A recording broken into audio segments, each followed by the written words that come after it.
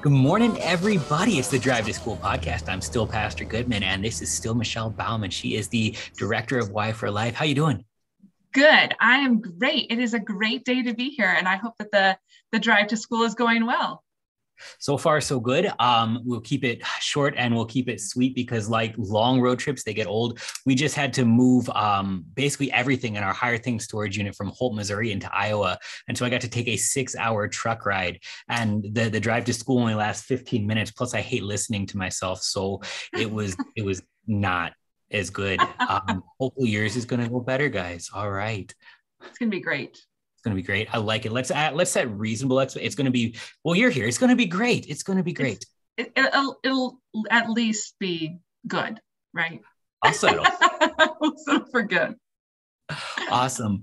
Um, so Michelle, what are we going to talk about today? Let's talk about, let's talk about the 10 commandments.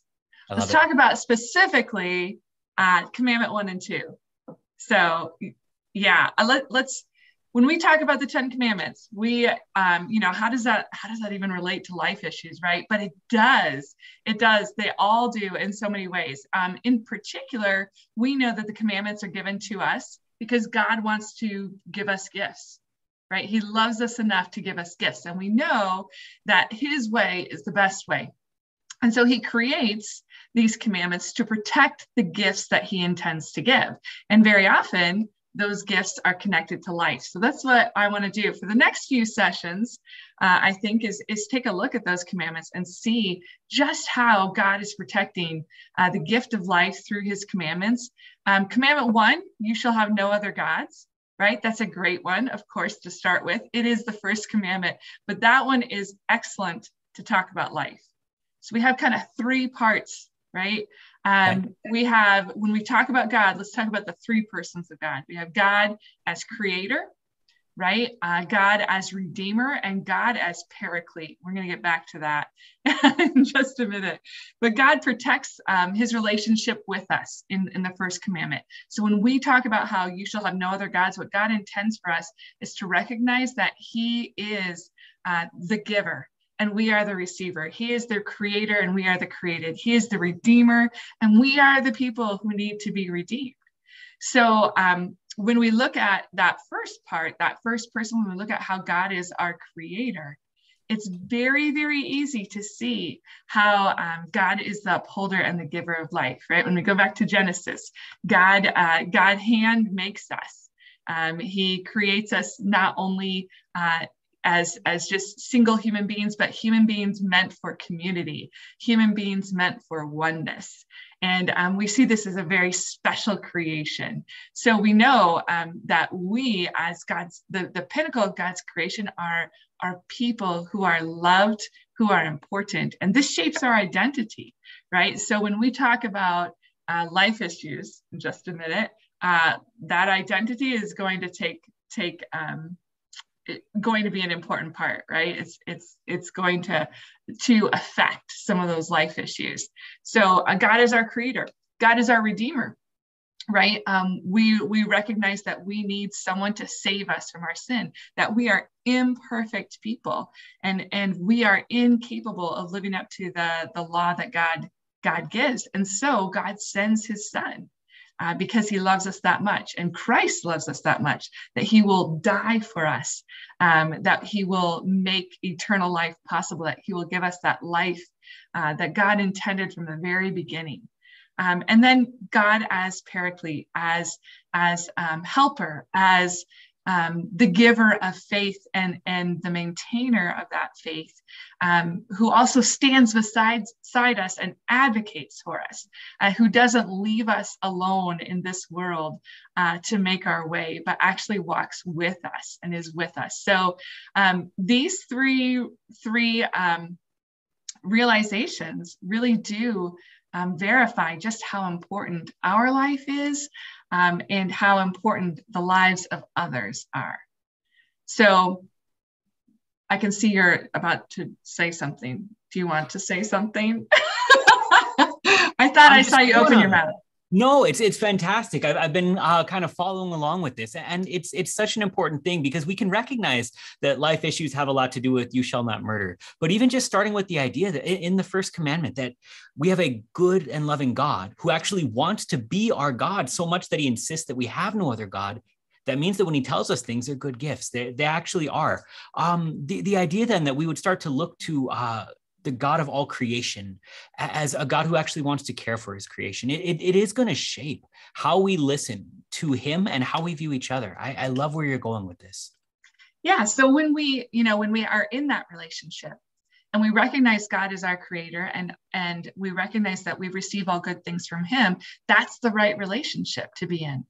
But life issues start to happen when we turn that on its head, right? When we say, mm, I'm going to be creator, right? Um, I'm going to recreate myself into the person I want to be or into the person society desires that I become. And so then we start to have life issues like um, eating disorders, uh, life issues like identity identity, questioning our identity, right? Identity confusion, gender confusion. We start to have life issues um, later in life, right? We're talking to high schoolers right now, but later in life, when we get married and, and we want to have kids, we start to have issues about, you know, uh, demanding the gift of children, right? When it's not maybe given to, to everyone.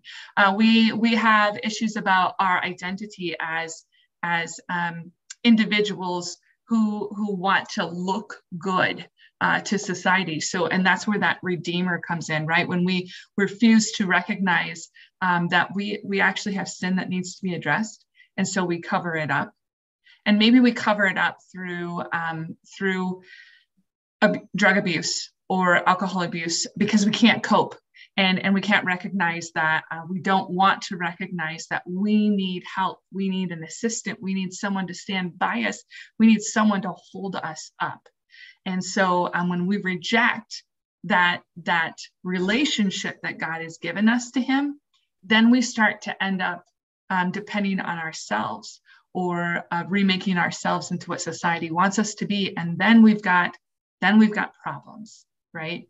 Um, and those problems go to to the root of the first commandment um, that you know when we re- we don't recognize who we are and who god has created us to be um, then we turn inward and uh, inside is is nothing good nothing good but what god has created to be good and which we have we have um, remade into something substandard into something that isn't necessarily good Right. It's actually one of the biggest differences between us and God. Um, not only are, are we, you know, not um, on our own without sin uh, or, or, or, you know, everlasting to everlasting, all the things that make God God. But one of the biggest differences is actually found in action.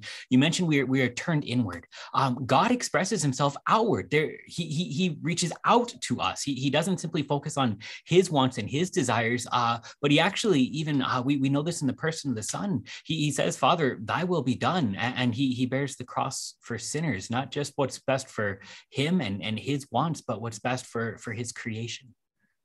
Absolutely. Yeah and and i think you know obviously um, the first commandment flows very well into that second commandment. Um, you shall not misuse the name of the lord your god. And um, if you know again people might look at that one and go really? How, do, how does that connect to life issues?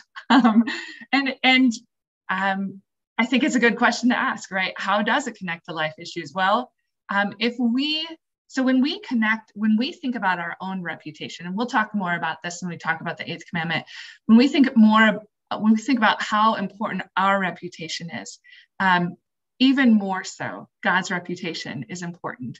And when we are um, defaming that reputation, when we are uh, defaming the gift of that reputation that God has given us, because of course we bear his name when we go into the world right? We bear the name of christ and that that should be a good name. We want to be um, to be part of a family whose father has a good reputation. Um, and so when when god the father has a good reputation when god the son has a good reputation that reflects on us as christians. Um, but um, if we are defaming that name, why would anyone else want to lean on the God that we call God, right? The God who can give, truly give life, not only in this world, but life eternal.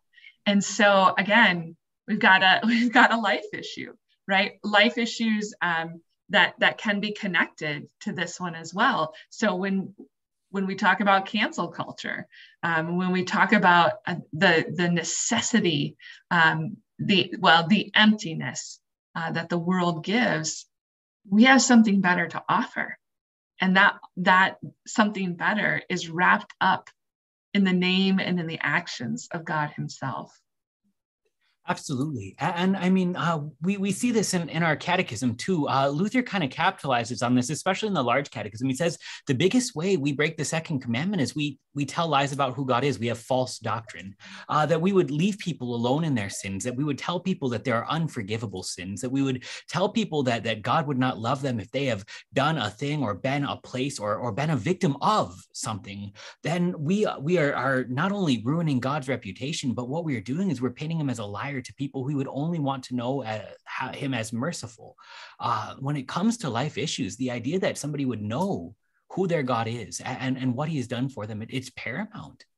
Yeah, what a tragedy, right? What a tragedy um, when when someone needs to hear that message and that message has been um, reformed into into something very unsacred, right? When when the name has become a curse word or when the when the the message has been ruined by that. So so yeah again you know we have we have these gifts. We have these gifts in the commandments. We have these gifts um, that god intends to give uh, through his name through his right relationship with us and he wants to protect those gifts for us.